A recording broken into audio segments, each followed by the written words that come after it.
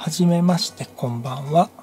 橋本です。今回はね照明の話をねしていこうかなと思います。以前ね、えー、ゴドックスの SL152 っていうものをね紹介したんですけれどそれと別に SL60 っていうものもね持っていて今まではね60の方をねメインで使って1頭でね使っていたんですけれどまあ2頭になったんでねまあやっとね照明の話ができるかなっていう感じになってきました。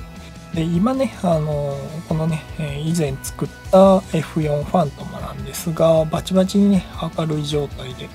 てるかなと思います。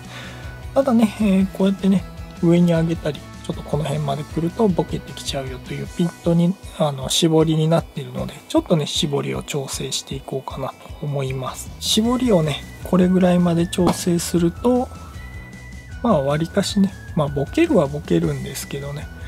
まあわりかしボケ量が少なくなるかなと思います。まあでもシャッタースピードの方はねがっつり変わってるのでまあ明るさっていうのはね大事かなと思います。今はねあの2と使って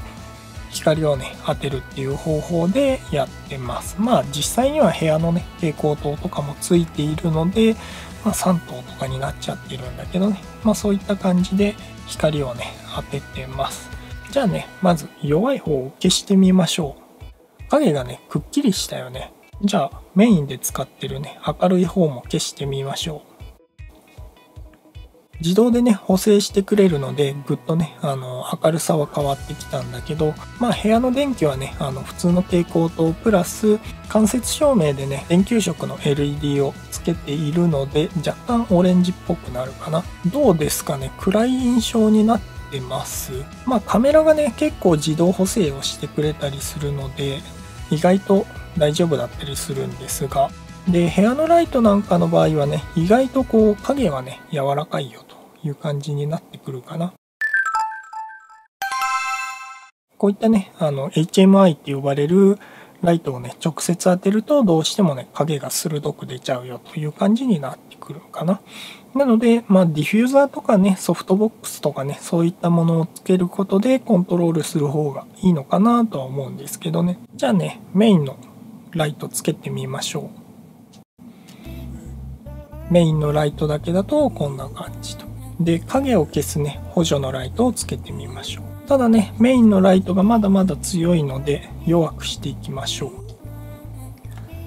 これで30%ぐらいかな。まあこれぐらいだったらなんとか影も柔らかくていいかなっていう感じもするんですがメインのライトの方は結構明るいのでもうちょっとねソフトボックスをかぶせるとかなんか工夫のしようはある気はしますね。じゃあ今まで通り、えー、今メインにしてるライトを消して 60W タイプだけの照明にしてみましょう。こんな感じでね影が今まで出ちゃってたんだよね。まあ従来ね2灯から3灯であのライティングするっていうのが基本なんですけれど、まあ、このね影が気になったので2灯目をね買ってみたよという感じかな。ただね明るいライトを買ったので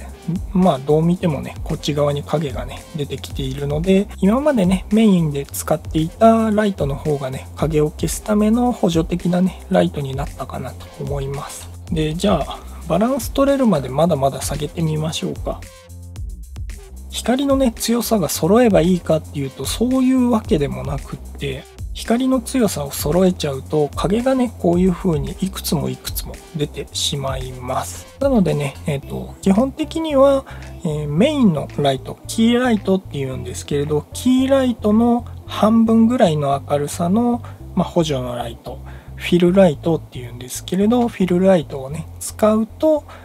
といいよという感じかな。まあ、なのでね、こんな感じで、あの、補助のライトの影が出ないようにね、調整してあげるといいかなと思います。まあ若干は出てるけどね。あとはメインのライトの方にソフトボックスをかぶせて、あの影を柔らかくするとかね。そういった感じで、うん、うまく調整してね、取ればいいかなと思います。まあしばらくはね、こんな感じで、ちょっとね、影が強い感じにはなっちゃうかもしれないんですが、まあこんな感じでね、やっていこうかなと思います。今メインのライトがね、このように当たってる状態で補助のライトがねこのように当たってる状態。今ね影がこっちにね強く出てると思うのでもしねどうしてもこの影を消したいようだとか、まあ、輪郭にね光を当ててふんわりさせたいよっていう場合にはこっち側にまあ、バックライトっていうねポジションになるんですけれどもう一頭ねこっちに置いて光を当ててあげるとね影を消したりだとか輪郭をね光らせたりとかそういうこともねできるかなと思います。えっ、ー、と、もう一つね、今試せることがあるので、試してみようかなと思います。ちょっとね、セッティングを変えてきました。で、今はね、どうなったかっていうと、明るい方のライトを消してみます。影の位置が変わらない。明るい方なのになんで？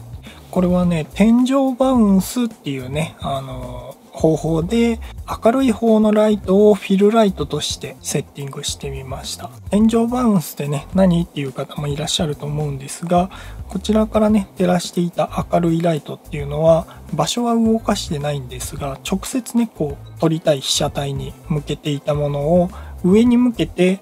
天井を照らしています。で天井から反射した光がここに当たってると。いう感じになるんですけれど、まあ、こうやってねあのセッティングをすると光が柔らかくなったりするんですが、めちゃくちゃ光が弱くなります。やっぱり拡散させているので、天井バウンスとかね、もちろんソフトボックスとかでもね、かなり暗くなっちゃったりしますので、うん、まあ、ライトとかにもね、よるとは思うんですけれど、2段分とかね、ソフトボックスで暗くなっちゃったりとかするので、まあそういう意味でね、あの、意外と照明っていうのは明るいものがあった方が便利がね、いいかなと思います。で、もう一頭もね、あの、天井バウンスにすると、さらにね、この影が消えたりだとか、まあ、もうちょっと柔らかい光の表現になるかなと思うんですけれど、で、今ね、2頭ともね、あの、バウンスって言って天井にね、当ててる状態なんですけれど、それだとね、こんな感じと。で、えっと、シャッタースピード的にはね、100分の1っていうことでね、まだまだ実用のね、範囲には入っているので、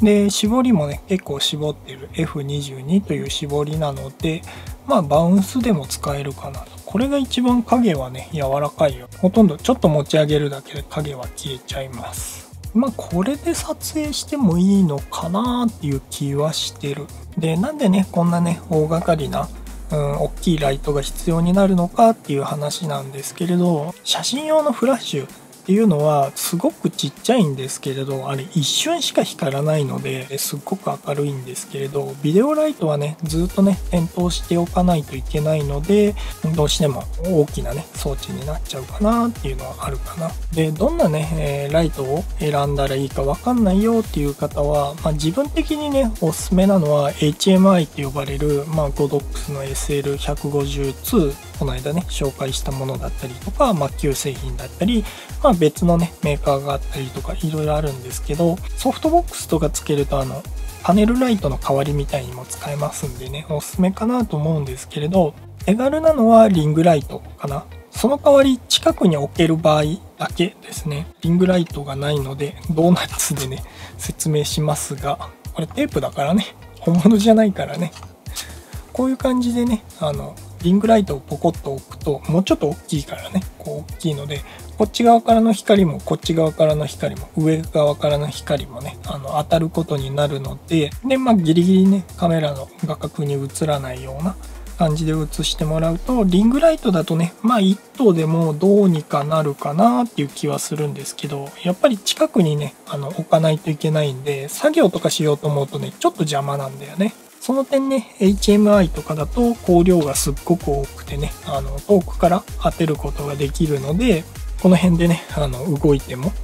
邪魔にならないかなと思います。パネルライトとかリングライトっていうのはやっぱりもうその製品によって使い方っていうのがかなり絞られてきちゃうので、まあ、HMI だったらまあ別にね、そんなに HMI が絶対必要じゃないっていう状態でも、撮影してる場所のね、明るさをぐっと全体的に上げといて、パネルライトを置いたりだとか、スポットライトを使ったりだとかっていうことができるので、まあ持っといて損はないかなと思います。ただちょっと高いです。自分の失敗としては HMI をね、1頭使ったっていうことで影がね、がっつり出てしまったっていうね、あの、ことがあるので、まあ HMI を使うのであれば2と、そしてソフトボックスとかをね、準備するとかそういった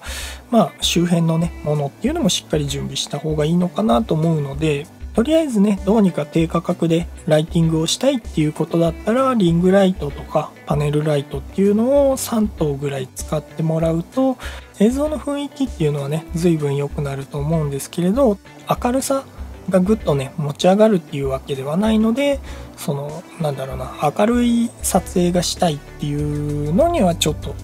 厳しいかなっていうのは思います。うん雰囲気作りっていう感じかな。ということでね、今回はまあちょっとまとまりなくね、グダグダと喋ってしまったんですけれど、まあ参考になったとかね、面白かった、また見たいっていう方はね、グッドボタンとかチャンネル登録もね、ポチッとしていってください。Twitter、インスタもね、始めてますので、もしよろしければね、フォローの方もよろしくお願いします。本日はこれまで。また次回の動画でお会いしましょう。